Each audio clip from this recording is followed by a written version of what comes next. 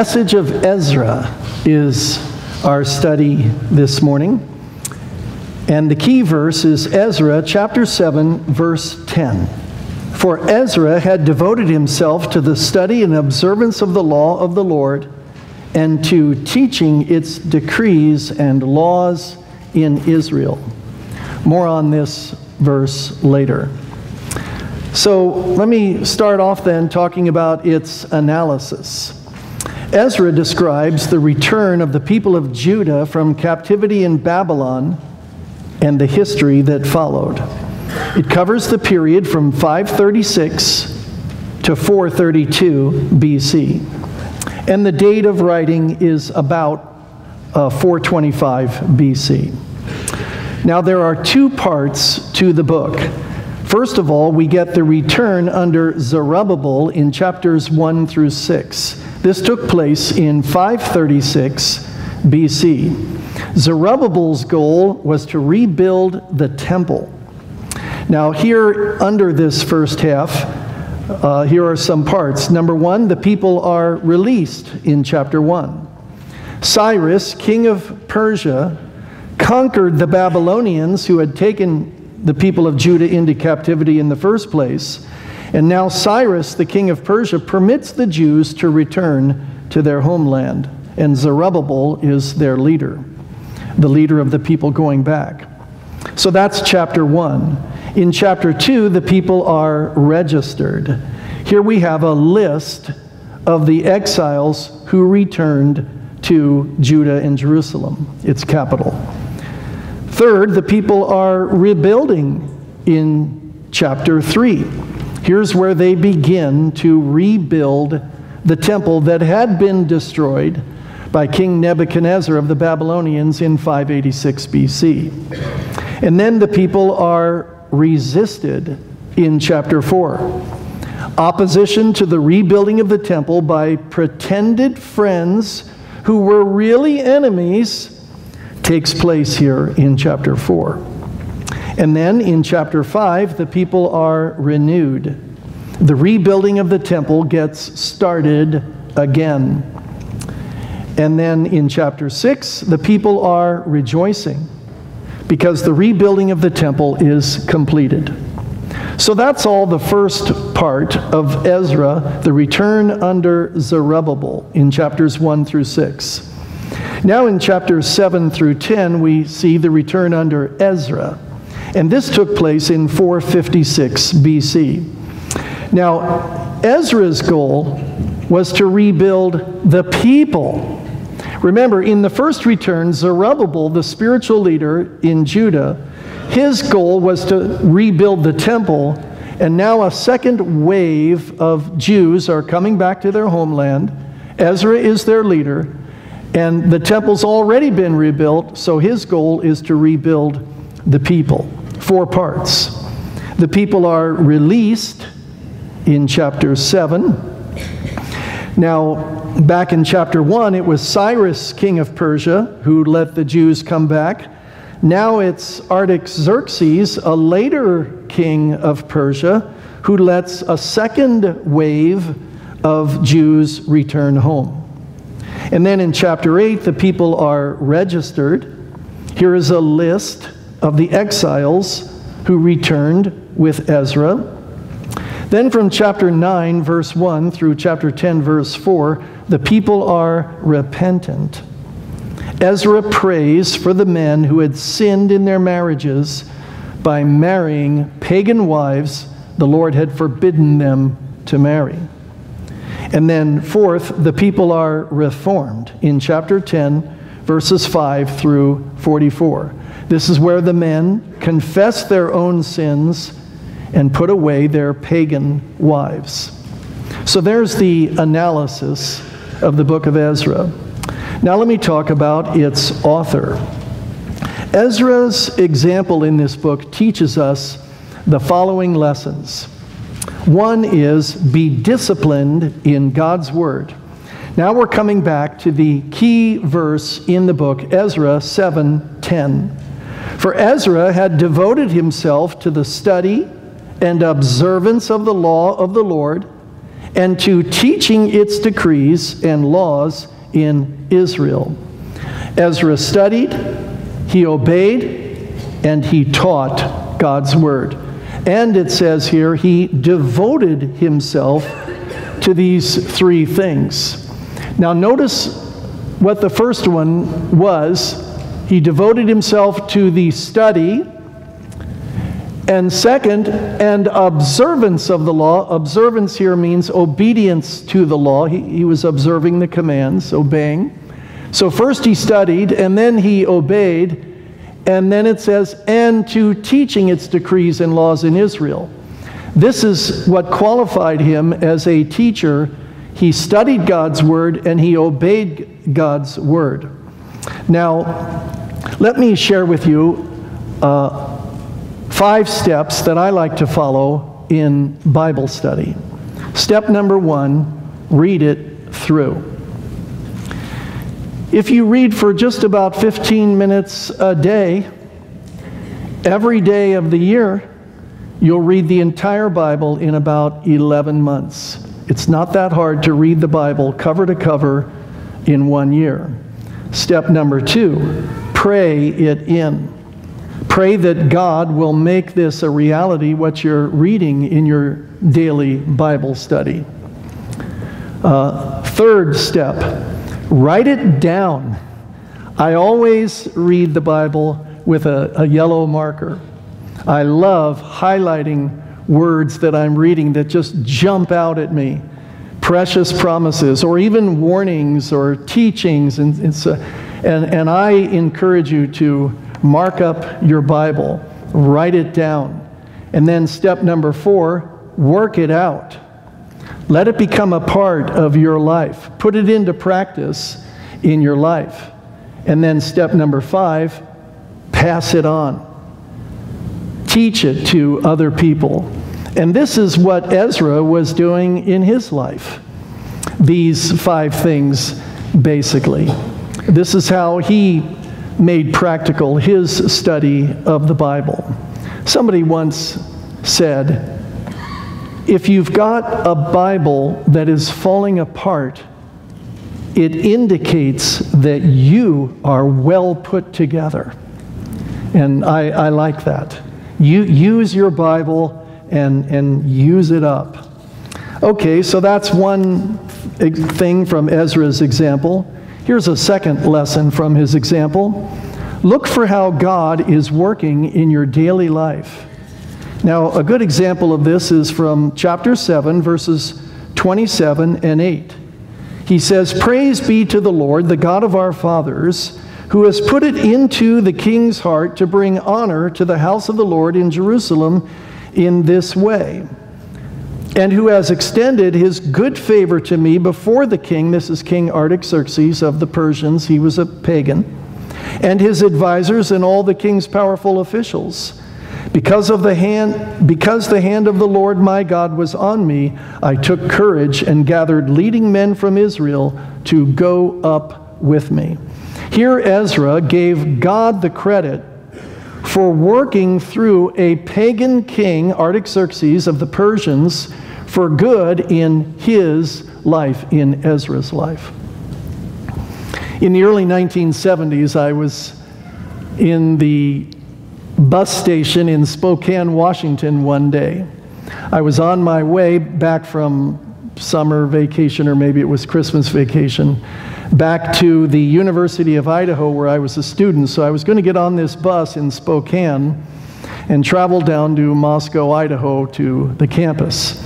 So I'm waiting for my bus, you know, and so forth, and I noticed these two Jesus people. Now, if you don't remember who the Jesus people were, they were people in the early 1970s who were also hippies, but they, they believed in Jesus and very passionate about the Lord.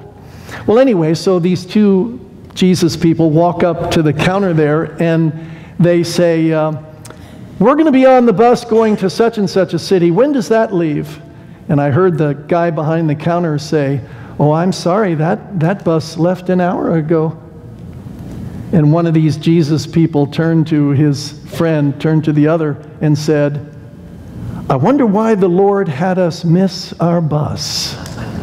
And I felt like screaming at them, It was your own carelessness that caused you to miss the bus, not the Lord. But then I thought to myself, Well, wait a minute. You know what? Ultimately, they're right.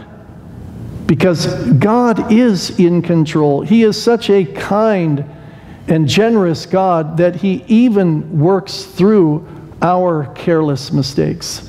He's done that with me many, many times. Look for how God is working in your daily life. Number three, trust God for your safety. I see this in chapter 8, verses 21 to 23. There, by the Ahava Canal, I proclaimed a fast so that we might humble ourselves before our God and ask Him for a safe journey for us and our children with all our possessions. I was ashamed to ask the king for soldiers and horsemen to protect us from the enemies on the road because we had told the king, The gracious hand of our God is on everyone who looks to him, but his great anger is against all who forsake him. So we fasted and petitioned our God about this, and he answered our prayers. This is the journey back to Judah from where they were in exile. Now, sometimes in our family, uh, all four of us, Mary and I and Tommy and Leslie, are, are going to be getting in our cars and we're going to different places, four different places in the same day. Now, you can understand that.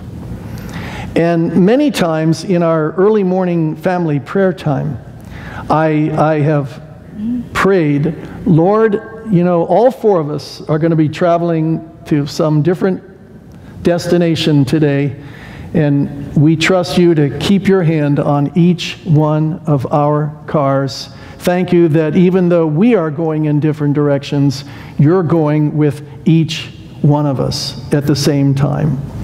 Trust God for your safety. Number four, never get used to the sin around you. Here we are now in Ezra 9 1 through 4. After these things had been done, the leaders came up to me and said, The people of Israel, including the priests and the Levites, have not kept themselves separate from the neighboring peoples with their detestable practices, like those of the Can- Canaanites, Hittites, Perizzites, Jebusites, Ammonites, Moabites, Egyptians, and Ammonites. By the way, stop right there. Just last Wednesday night, um, Lyle Young told me uh, that we've got one of these groups in our church, not the Canaanites who are listed here, but the, the Cainites. And the Cainites are the people who walk around with canes in their, in their hands, like Lyle himself does. So we want to put them in here too, okay? Well, anyway, okay, back to verse 2 now.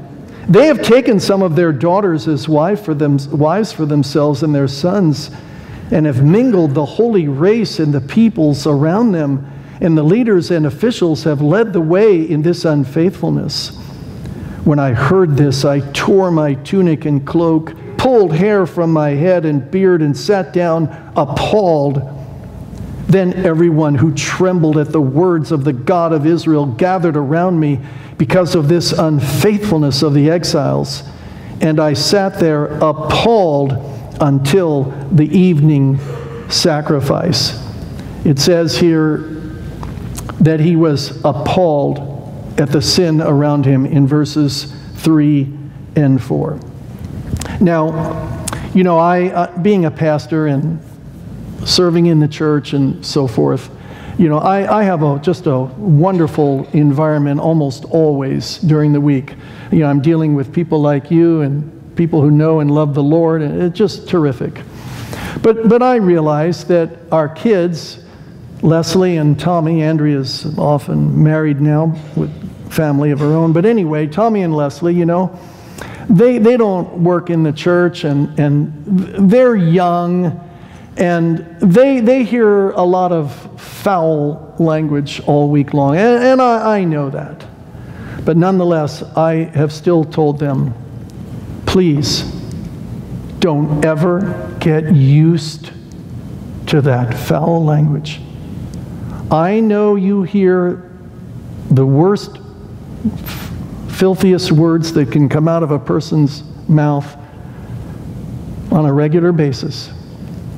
But please, don't ever get used to it. Always, always stay fresh in the Lord. Another person in the Bible who didn't get used to it was Lot, who lived in Sodom back in the book of Genesis. And here's what the New Testament says about him in 2 Peter 2 7 and 8. And if he, that's God, rescued Lot, a righteous man who was distressed by the depraved conduct of the lawless.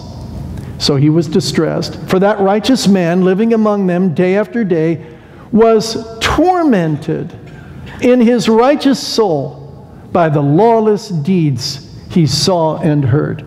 Lot didn't get used to the Sodomites. Even though he lived there for a long time, he was daily tormented. So never get used to the sin around you. Ezra didn't. Number five, be honest with God when you confess your sins. Listen to Ezra's confession in chapter 9, verses 5 through 15. Then at the evening sacrifice, I rose from my self abasement with my tunic and cloak torn, and fell on my knees with my hands spread out to the Lord my God, and prayed, O my God, I am too ashamed and disgraced to lift up my face to you, my God, because our sins are higher than our heads, and our guilt has reached to the heavens. From the days of our forefathers until now, our guilt has been great. Because of our sins, we and our kings and our priests have been subjected to the sword in captivity, to pillage and humiliation at the hand of foreign kings, as it is today. But now, for a brief moment, the Lord our God has been gracious in leaving us a remnant and giving us a firm place in his sanctuary. And so our God gives light to our eyes and a little relief in our bondage. Though we are slaves, our God has not deserted us in our bondage. He has shown us kindness in the sight of the kings of Persia. He has granted us new life to rebuild the house of our God and repair its ruins. And He has given us a wall of protection in Judah and Jerusalem. But now, O our God, what can we say after this? For we have disregarded the commands you gave through your servants the prophets when you said, The land you are entering to possess is a land polluted by the corruption of its peoples. By their detestable practices, they have filled it with their impurity from one end to the other. Therefore, do not give your daughters in marriage to their sons, or take their daughters for your sons. Do not seek a treaty of friendship with them at any time that you may be strong and eat the good things of the land and leave it to your children as an everlasting inheritance. What has happened to us is a result of our evil deeds and our great guilt. And yet, our God, you have punished us less than our sins have deserved and have given us a remnant like this. Shall we again break your commands and intermarry with the peoples who commit such detestable practices? Would you not be angry enough with us to destroy us, leaving us no remnant or survivor? O Lord, God of Israel, you are righteous. We are left this day as a remnant. Here we are before you in our guilt, though because of it, not one of us can stand in your presence. Now, here Ezra opens his guilty heart to God in confession of sin. He offers no excuses no complaints, no deals with God.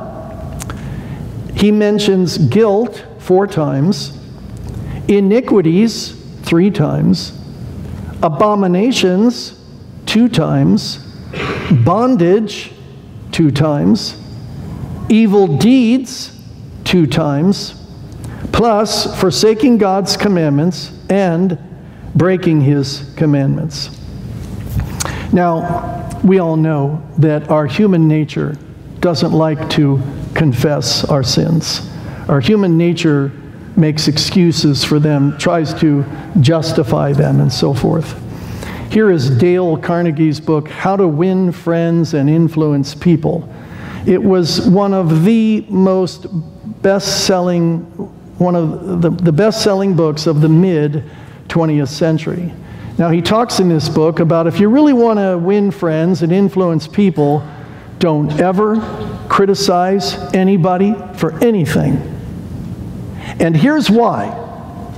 Listen to this 99 times out of 100, no man ever criticizes himself for anything, no matter how wrong he may be.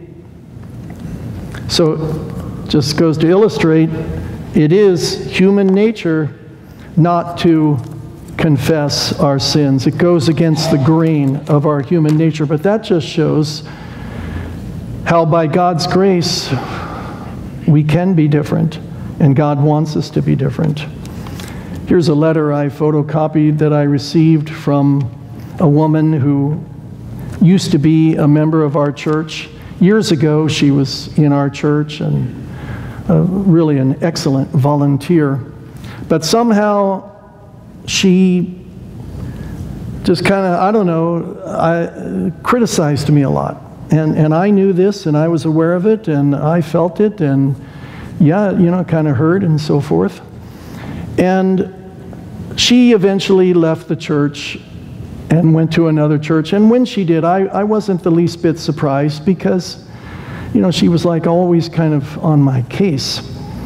Well, let me read you this letter that came a couple of years after she left. Dear Tom, lately I've been convicted of how I've treated you in the past. I thought I had dealt with this, but it always keeps coming up, so I must not have, at least not properly. I am asking forgiveness for not being supportive of you and your ministry like I should have. I should have spent my energy praying for you and our church instead of complaining. It was wrong to tear down and not build up. I'm sure my words and actions hurt you and others. Please forgive me. I know I can expect that. Thank you for your commitment and dedication to serving God. Well, she not only sent me this letter, but she also came to see me. And the whole thing just very, very deeply touched my heart and was just a, a wonderful reconciliation between her and, and me. Be honest with God when you confess your sins. And then, number six from Ezra's example is prove your repentance by changing your ways.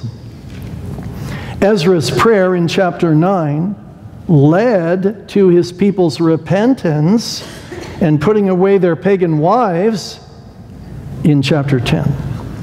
All right, now we're going to finish up talking about its application. And I've got four pieces of application from the book of Ezra. Number one, we also need to return to our homeland, and our homeland is God. You know, we, we see two returns of the exiles in Ezra from in chapter 1 and chapter 7 in the book of Ezra. We too need to go back. And when we do turn to God, it's because He has stirred up the hearts of other people. Watch how that was true in Ezra's case in chapter 1, verse 5. Then the family heads of Judah and Benjamin and the priests and Levites, everyone whose heart God had moved, prepared to go up and build the house of the Lord in Jerusalem. So God moved the in our, our the hearts of us and fellow people and also the hearts of other people who maybe aren't like us at all. Chapter 1 verse 1. In the first year of Cyrus, king of Persia, in order to fulfill the word of the Lord spoken by Jeremiah, the Lord moved the heart of Cyrus, king of Persia, to make a proclamation throughout his realm and to put it in writing. And in many cases, in our case, when people move in other people's hearts, He's moving them to, to pray for us. And, and that's why we need to return to our homeland. I think of Diron, who's here today, and baptized him a couple of weeks ago. And part of his testimony was how he had gotten far away from the Lord, but wherever he went, Santa Barbara and Florida and Bakersfield and Reedley, there was always somebody there to witness to him and like say, Oh, you're away from the Lord, you need to come back. And Diron said, Why are you people always on my case like this? And this guy in Reedley said, Because you've got people who are praying for you. God stirs up the hearts of other people. All right, here's a second application God is faithful to keep his promises. Now, God vowed that the exile would last only seven years. God had promised that. In Jeremiah 25, verse 11, listen to this. Jeremiah said, This whole country will become a desolate wasteland, and these nations will serve the king of Babylon 70 years. Wow. God predicted through Jeremiah right down to the year how long the exile would be.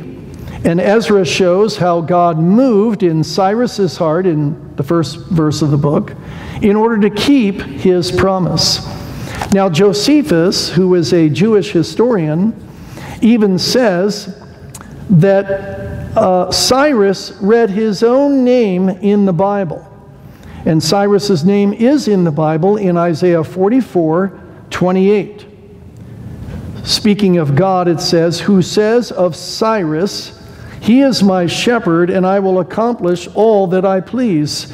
He will say of Jerusalem, Let it be rebuilt, and of the temple, let its foundations be laid. Here's God predicting that Cyrus will, will give the order to rebuild the uh, temple. And then chapter 45, verse 1 in Isaiah is similar. This is what the Lord says to his anointed, to Cyrus, whose right hand I take hold of, to subdue nations before him, and to strip kings of their armor, to open doors before him so that gates will not be shut. Now, here's the fascinating thing Isaiah wrote about Cyrus 200 years before Cyrus ever came to the throne almost 200 years before Cyrus was even born. And Cyrus reads his name in the Bible. And he says, God wants me to let the people go and go back and, and rebuild their, tell them to rebuild their temple. Wow. And so, looking at it that way, the Lord moved in Cyrus's heart. Chapter 1, verse 1 says it that way. And he did it by means of his word. Cyrus's heart got moved by the Lord because of what he read in the Bible. Here's one of many illustrations in my own life how God did that.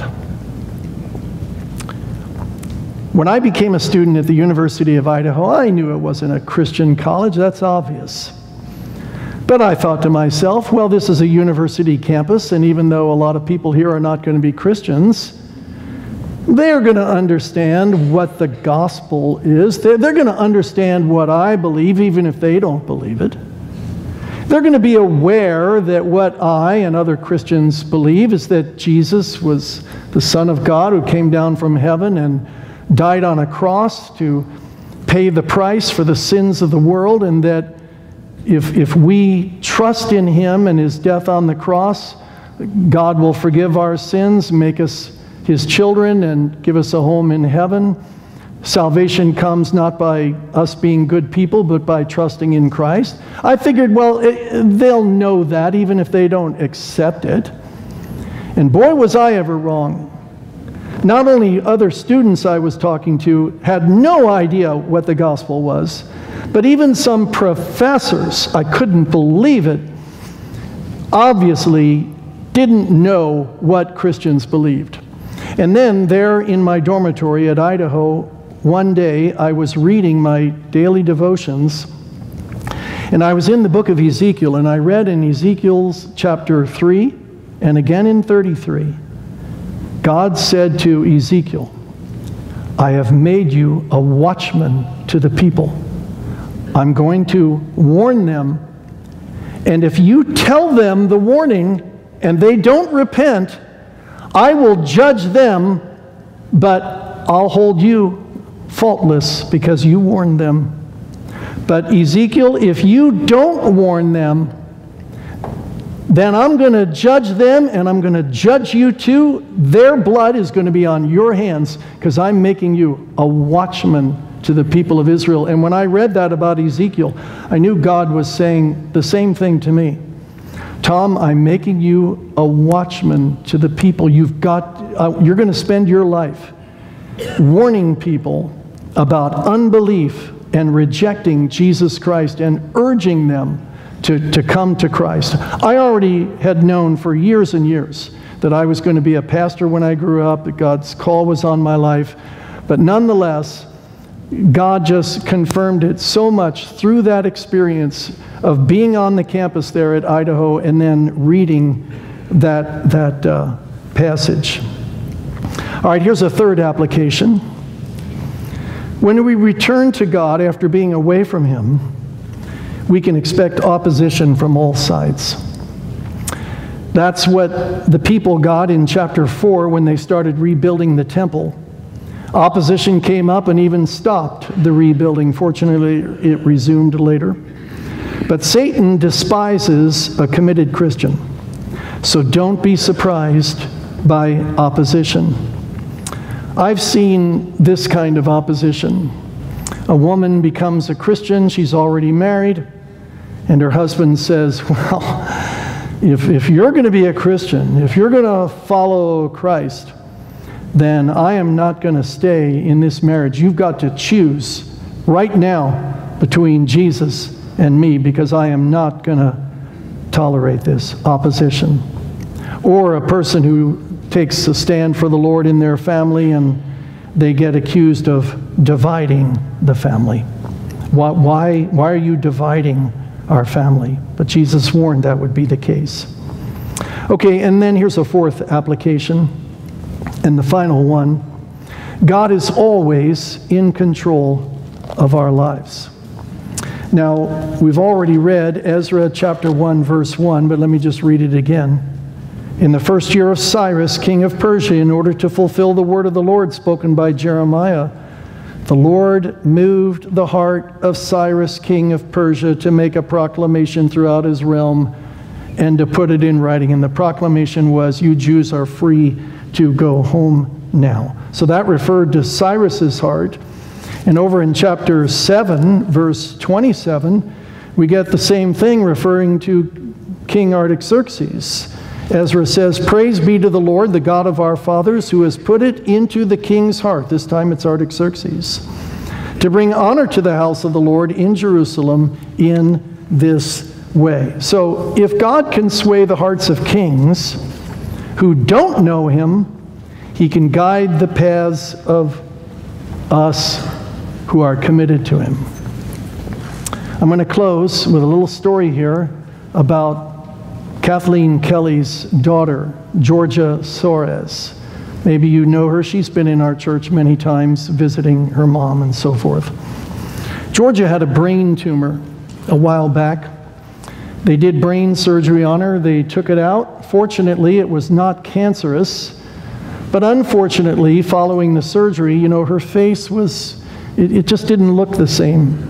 It didn't look uh, normal.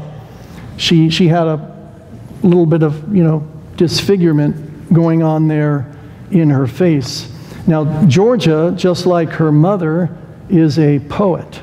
And so she wrote this little poem about all of that and it's titled Let It Go and Let It Be. People keep saying, You are strong. I feel like I am frail and weak. People tell me, Life goes on. I feel I'm on a losing streak. People say, Hey, you look great. I look in the mirror and wait and wait. Please come back, I tell my face. To God I kneel and plead my case. People say, I can hardly tell. All I want to do is scream and yell. I've been cheated. I've been robbed. And then I wind up on the floor and sob. That's when the voice, so sweet and still, says, Remember, I love you, and this is my will. In this life, you will feel pain. The storms will come along with rain. I will refine you pure as gold, as I do each sheep in my fold. My plans for you are good, not bad. So don't lose heart and don't be sad. Even if healing isn't 100%, you can count on this, Georgia. It is heaven sent. For all your days have been ordained, and also that thing they found in your brain. All of this is no surprise to me. So let it go and let it be. God is in control. What a wonderful God.